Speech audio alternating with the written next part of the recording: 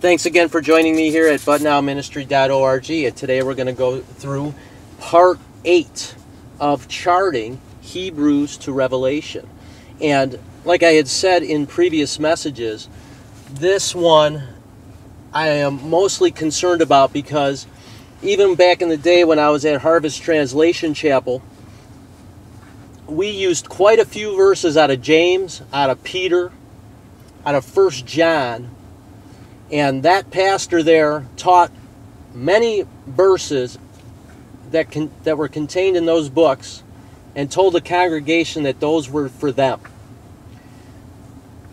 because he had a completely misunderstanding of Galatians chapter 2 verse 9 that clearly tells us in Paul's writings according to the revelation of the mystery that Peter, James and John are ministers to the circumcision.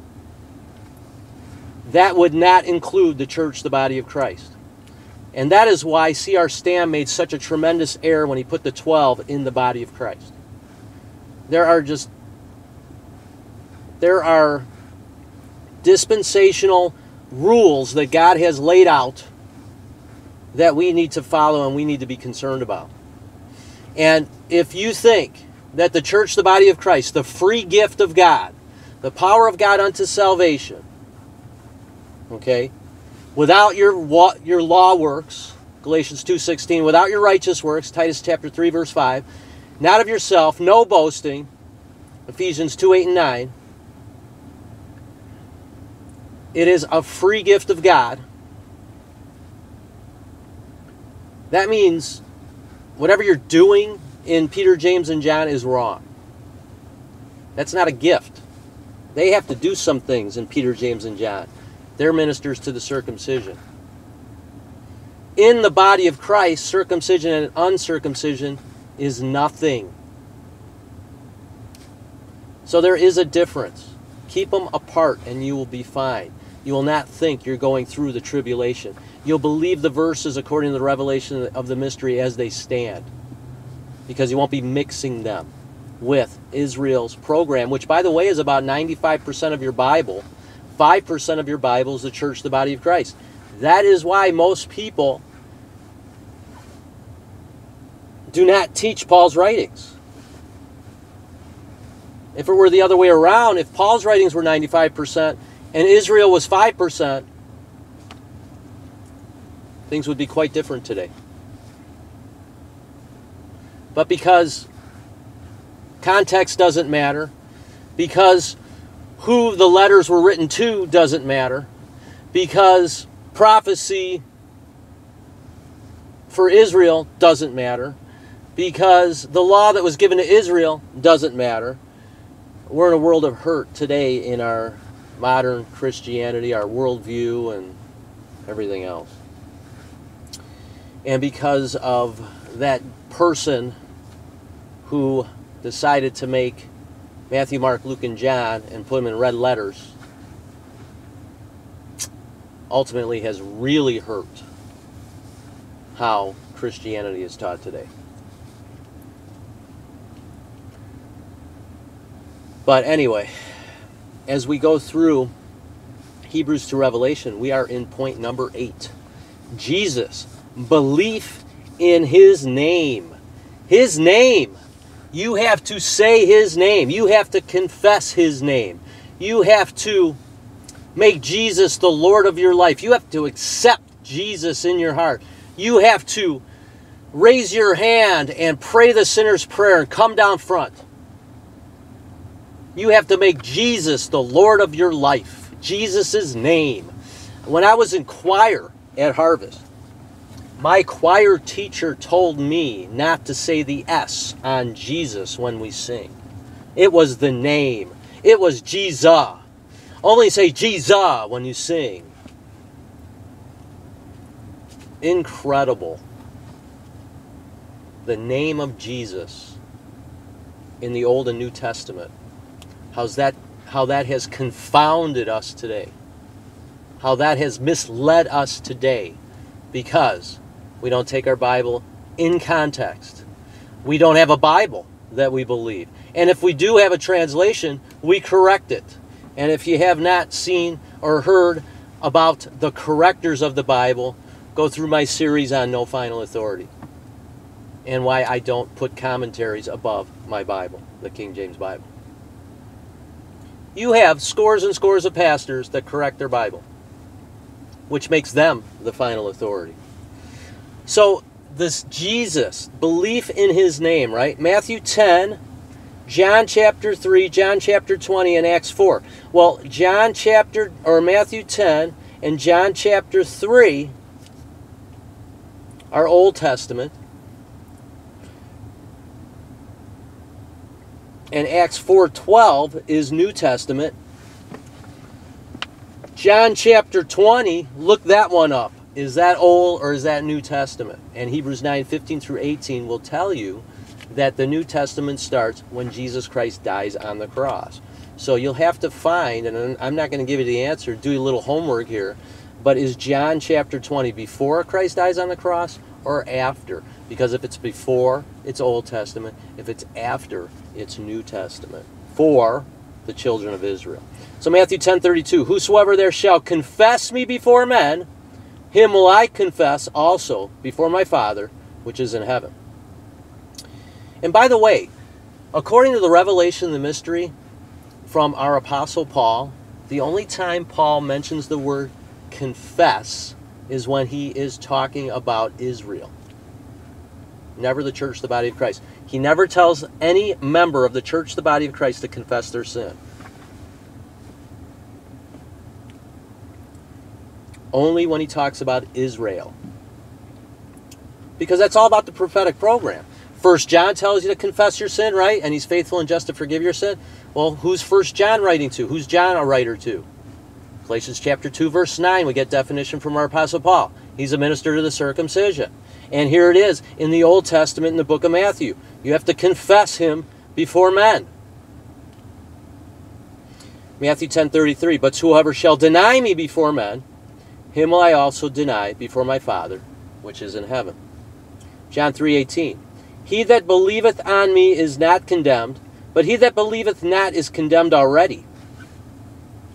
And that's the verse they forget to mention. You know, when when I was at Harvest, Pastor James MacDonald used to say, God loves the sinner but hates the sin. Well, John 18 confirms that Pastor James MacDonald is wrong. It says here that we're condemned already. He that believeth not is condemned already. Oops because he hath not believed in the name of the only begotten Son of God. So much for God hating the sin and loving the sinner. Okay? If you don't believe in the prophetic program, if you didn't believe in the name of Jesus, okay, you would not have remission of sin. Okay? In the revelation of the mystery, if you do not believe that Christ died for your sins and was buried and rose again on the third day, you are then condemned already. What does Romans 5:10 say? Romans 5:10 says you're an enemy. According to the revelation of the mystery. Now in the prophetic program, if you didn't believe in the name of the only begotten son, you're condemned already. And in that's in the prophetic program for Israel. And in again, according to the revelation of the mystery, if you don't believe in the death, burial, and resurrection, what does Paul say? If people are contrary to the doctrine, you are to mark them and avoid them, right? What does Paul say in Ephesians chapter 2? They're children of wrath. What does Paul say in Romans 5:10? You're an enemy of God. So so much for God hating the sin and loving the sinner. That is a lie from the pit of hell, okay? John 20, verse 31. But these are written that you might believe that Jesus is the Christ, the Son of God, and that believing ye might have life through his name. Notice that word might. Do we have a word might in the dispensation of grace according to the revelation of the mystery? No. Colossians 2 9 and 10 says we're complete in Christ. Ephesians 1 3 says we have all spiritual blessings in heavenly places. Romans chapter 8 verses 1 says,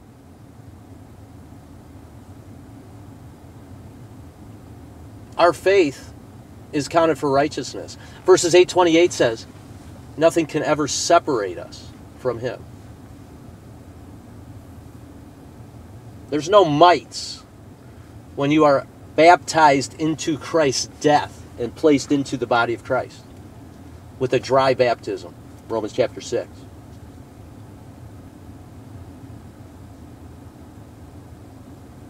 You're sealed until the day of redemption.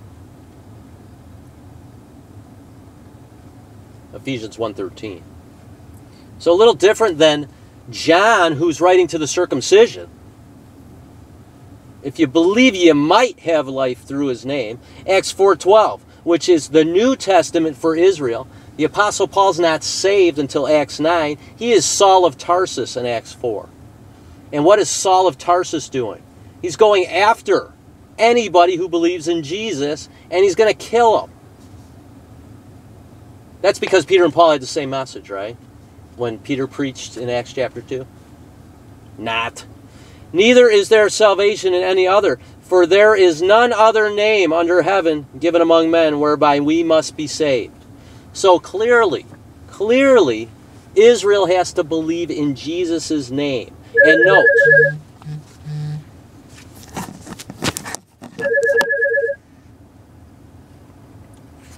Note, this is not the gospel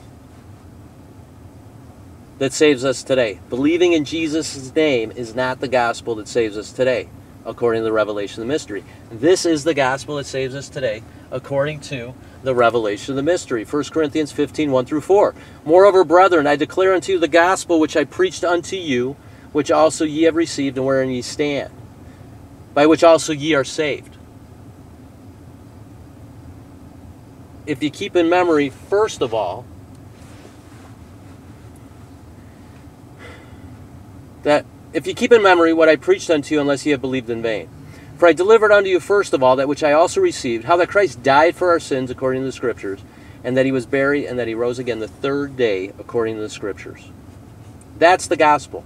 Is there any mention about believing in Jesus' name whereby we must be saved? Because that's what it says in Acts 4 12 for the circumcision for the children of Israel.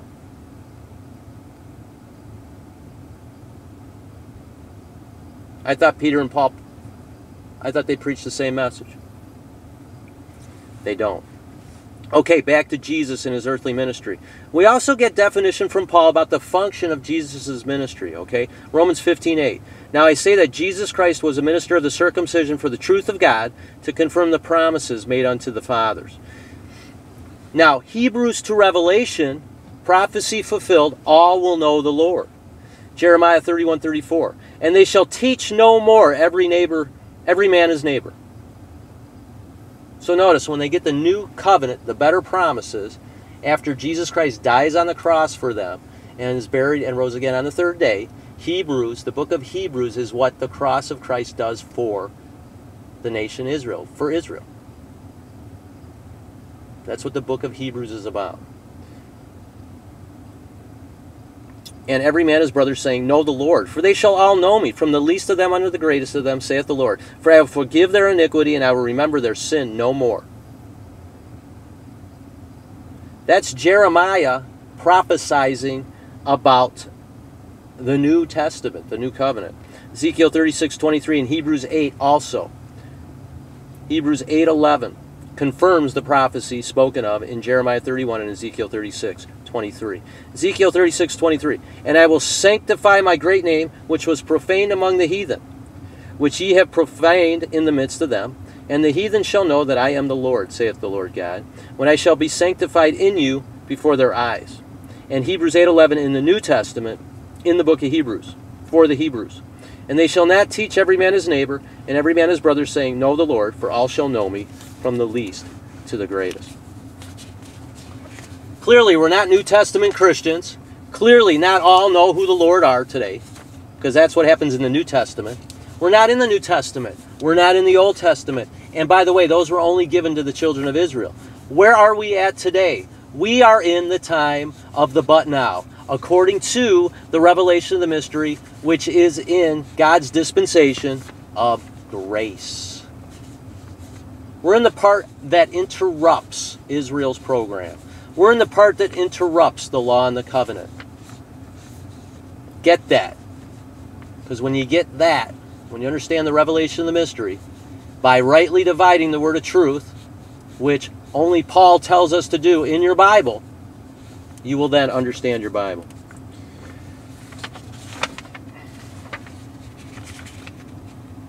Get that in your understanding. Get that into your understanding. And then as we continue through our study